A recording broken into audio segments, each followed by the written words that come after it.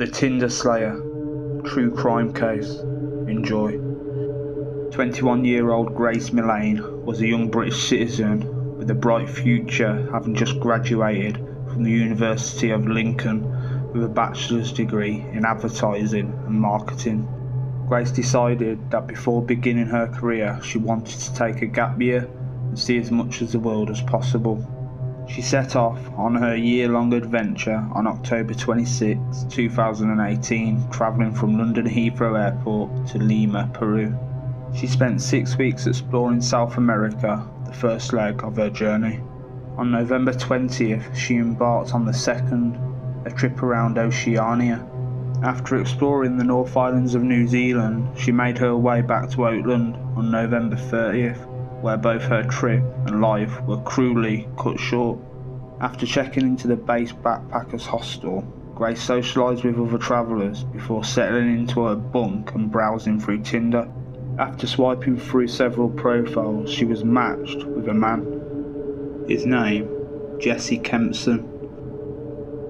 After some flirtatious back and forth, the pair agreed to meet on the following day, Saturday, December 1st, one day before Grace's 22nd birthday. On December 2nd, Grace's family and friends sent her text messages and voicemails wishing her a happy birthday and asking her how her trip was going. She didn't reply to any of them. That was unusual as Grace was constantly on social media stayed in daily contact with her friends and family. Her parents tried to call her on both her main phone number and backup phone number, but both immediately went to voicemail. After several days of radio silence, they began to worry that something might have happened to their daughter. And then on the 5th of December, they contacted the authorities and reported her missing. Grace's father, David, flew from London to New Zealand and sat with investigators as they held a press conference to raise awareness about Grace's disappearance. It was around this time that detectives had turned their attention to high quality CCTV cameras that line the buildings of New Zealand. And amazingly, the authorities were able to track Grace's movements on the eve of her birthday practically from the beginning to the end. December 1st at 5:37 p.m. Grace was seen leaving the base backpackers hostel and making her way to Sky City, where she had agreed to meet her Tinder date, Jess Kempson. The pair greeted each other with a hug outside the entrance and made their way to Andy's, a bar on the second floor where they spent an hour and a half drinking. From Andy's, Grace and Jess made their way to the Mexican Cafe, another bar and restaurant in Sky City, after 70 minutes, they made their way to their third destination, the Blue Stone Room, arriving at exactly 8:36 p.m.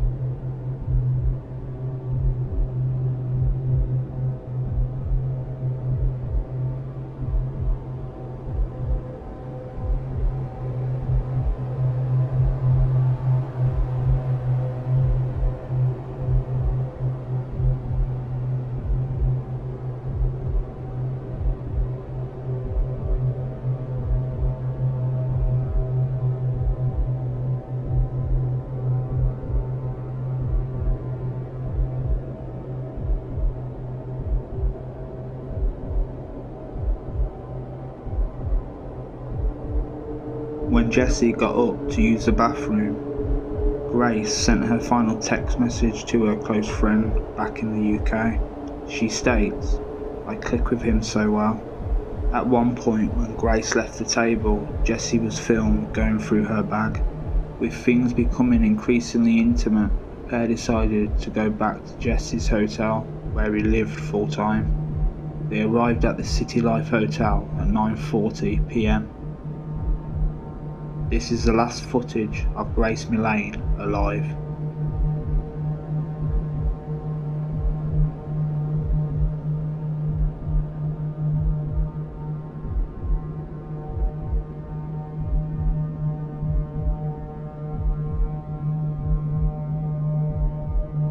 On the morning of December 2nd, as friends and family were wishing Grace a happy 22nd birthday, Jesse was again caught on CCTV exiting room 308 alone. At just 8am, he made his way into the Elliott Street warehouse and purchased a new suitcase.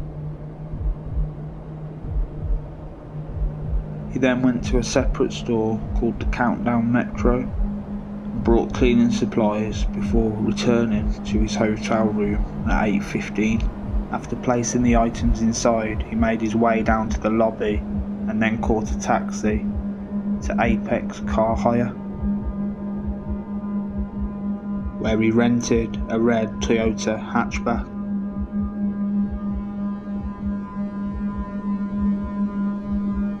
Unbelievably, at 4pm the same day, Jesse then made his way to another bar to meet another woman for another Tinder date.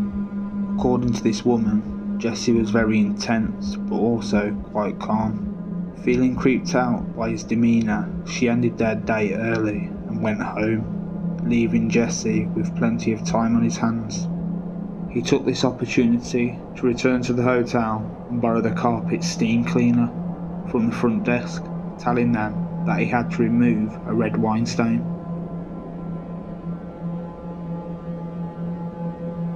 After spending an hour inside his room, he again returned to the lobby to borrow a luggage trolley, which he brought back up and loaded with his newly purchased suitcase.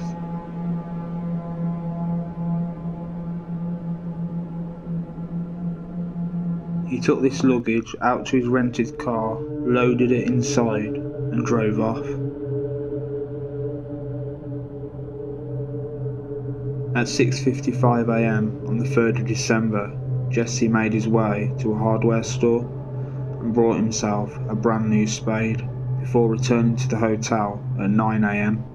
An hour later, he left his room with a full bin bag and disposed of its contents in a trash can outside.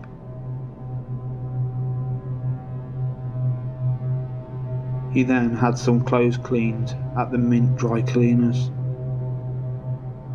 he also cleaned the rented car. Jesse really believed that he had thought of everything, but what he hadn't counted on was all the CCTV cameras that had been watching his every move.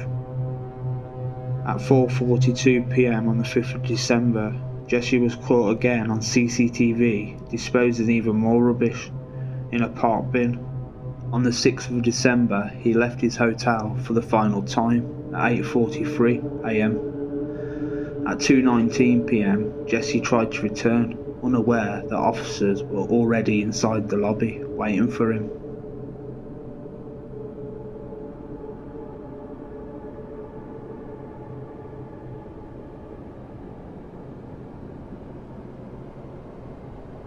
He spots the officers at the front desk and tries to make his escape.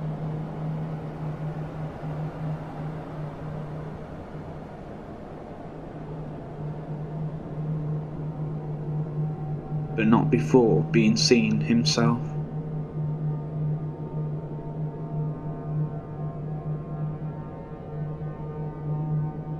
He was swiftly apprehended and brought in for questioning. During his interview, Jesse got to explain how his date with Grace unfolded. Tell us about Grace. Uh, so I was talking to Grace on Tinder. Yeah. We'd matched on Friday. I saw that we'd matched um, the next day on Saturday. How did the evening pan out? Um, mm, yeah, pretty good. How did the evening sort of come to an end? Uh, there was a hug and a kiss on the cheek, um, and a thanks, no, nice meeting you. Um, and then I said, let me know about tomorrow. But what he didn't realise was that his version of events didn't match up with CCTV footage. And yet, despite having so much evidence stacked against him, there was still no concrete proof that Grace, who was still considered missing, was deceased. Detectives obtained a search warrant for Jesse's City Life hotel room. Despite his attempts to scrub away the evidence of his actions, the forensic team discovered a substantial amount of Grace's blood hidden in the carpet. On the 7th of December, Jesse was brought back in for questioning. Realising that the detectives had likely found proof that Grace had died in his hotel room, this time he changed his story. He now claimed that he and Grace had a Fifty Shades style encounter. He claimed things got intense in the bedroom, and after the pair had finished, he went to take a shower, during which he fell asleep. He said that after waking her up and returning to the bedroom, he found Grace unresponsive on the floor and attempted to revive her. After formally being charged, detectives searched Jesse's phone. This turned up some truly horrifying evidence. Not only had Jesse taken photos of Grace before disposing of her, manipulating her body to get the shots that he wanted, but he had also used Google in the hours and days after she had perished, searching the phrases flesh eating birds, rigor mortis, large bags near me, the hottest fire, Waitakere Rangers. Following his GPS signal, New Zealand authorities were able to trace all of Jesse's movements after the slaying. This paired with his search history led them to the Waitakere Rangers. There, buried in a hall in the bushland, they found Grace's body still inside the suitcase. Experts determined that a COD was strangulation According to prosecutors, such a method takes at least 5 to 10 minutes. According to Jesse's message history, he had told other matches on Tinder that he enjoyed feet, dominating, and strangulation. Initially, New Zealand courts imposed a suppression order on Jesse Kempson's name. Several international media outlets opted to defy that court order and publicise Jesse's name running the risk of causing a mistrial. Thankfully, that didn't come to pass, though Jesse's defence team stuck with the narrative that Grace perished after a night of consensual misadventure, effectively placing the blame largely on her. Jesse was ultimately found guilty of her slaying sentenced to life with a minimum of a non parole period of 17 years. Jesse reportedly shouted at the judge, saying, You have no reason to convict me. I can't wait for the Court of Appeal to overturn you, mate. You're full of shit. His appeal was later rejected. Jesse later received a further 11 years behind bars when two other women, including another British backpacker, came forward and reported that Jesse SO'd them while holding a knife to their throats. Those 11 years are to be served concurrently with the 17 years he had already been given. During Jesse's initial trial, Grace's father David was diagnosed with cancer. It unfortunately claimed his life in November 2020. Thanks to everyone that listened to that case, and I hope you enjoyed it, and take care.